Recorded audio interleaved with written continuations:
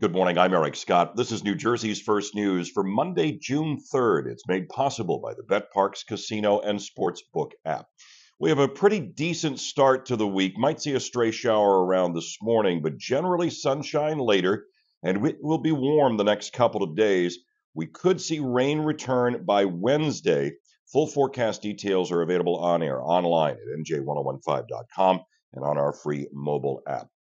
Municipal officials in Wildwood are hitting back at Attorney General Matt Platkin after Platkin suggested it was their fault chaos erupted on the boardwalk over the Memorial Day weekend. Authorities were forced to declare a state of emergency and close the boardwalk after unruly teens descended on the shore community, flouting the city's curfew.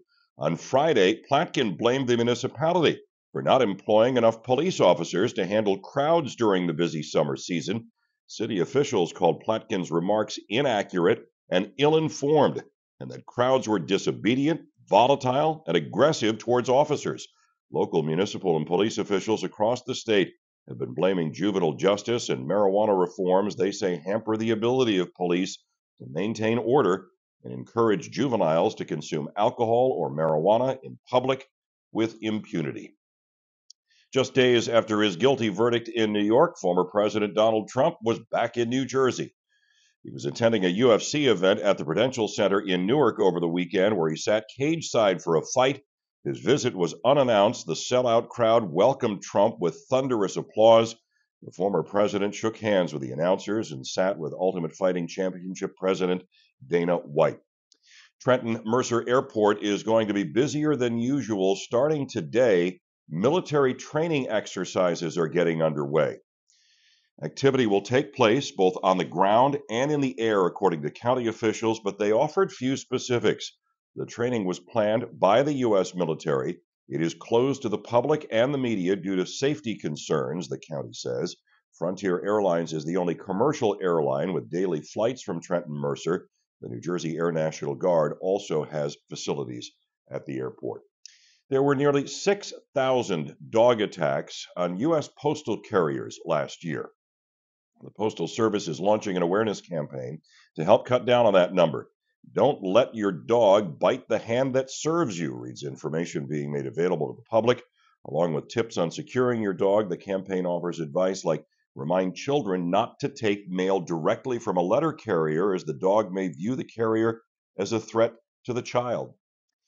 As we get ready to head down the shore for the new summer, shark sightings are increasing.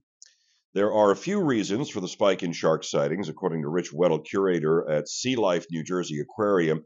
Ocean waters have been warmer, shark species are expanding their range.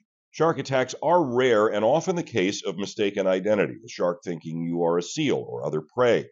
Always swim at guarded beaches and don't swim at dawn and dusk a gorgeous Mercer County home that is also part of U.S. history, has now gone on the market. After finishing his second term in the White House, President Grover Cleveland brought his young family back to his home state. The six bedroom, seven bathroom Princeton home with multiple fireplaces was dubbed Westland. The home was built in 1856. It's listed with Sotheby's for just shy of six million. It became a National Historic Landmark in the 1960s. Have something to say about our top stories? Leave your comments right here. Please like and share this video. And remember, we are always taking your calls, talking Jersey on air on New Jersey 101.5. I'm Eric Scott. That's New Jersey's first news for this Monday, June 3rd. It's made possible by the BetParx Casino and Sportsbook app. Have a great day.